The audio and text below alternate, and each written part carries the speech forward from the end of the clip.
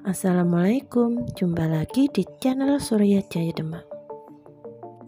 Kali ini aku akan berbagi ilmu bagaimana cara membuat jajanan jadul tapi digemari sampai sekarang. Namanya jumputan. Jumputan ini terbuat dari bahan baku beras ketan. Gak usah menunggu lama, yuk kita mulai sekarang. Pertama-tama yang dilakukan adalah pencucian beras ketan hingga bersih. Lalu kita rendam beras ketan selama semalam.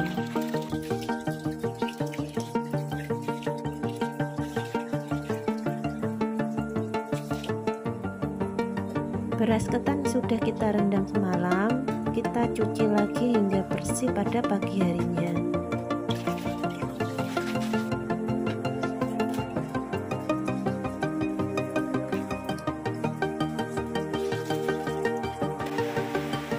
Setelah air yang ada di dalam dandang mendidih, segera masukkan beras ketan ke dalam dandang.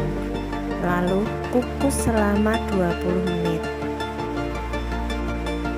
Sambil menunggu proses pengukusan beras ketan, maka kita siapkan bumbu-bumbunya terlebih dahulu.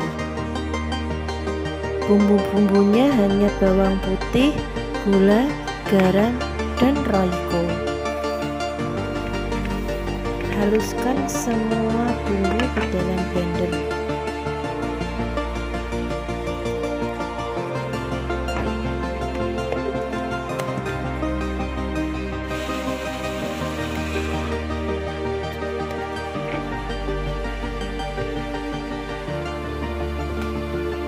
Beras ketan yang kita kukus tadi kita angkat dan diberi bumbu-bumbu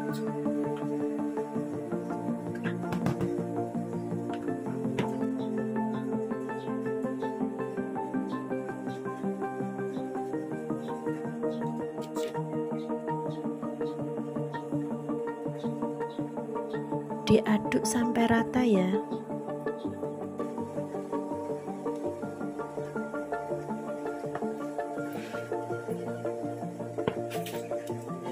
setelah dibumbui lalu kita kukus lagi selama 20 menit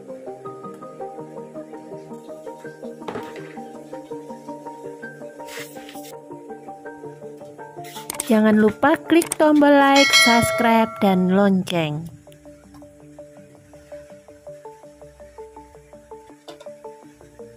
Kita kukus kembali selama 20 menit.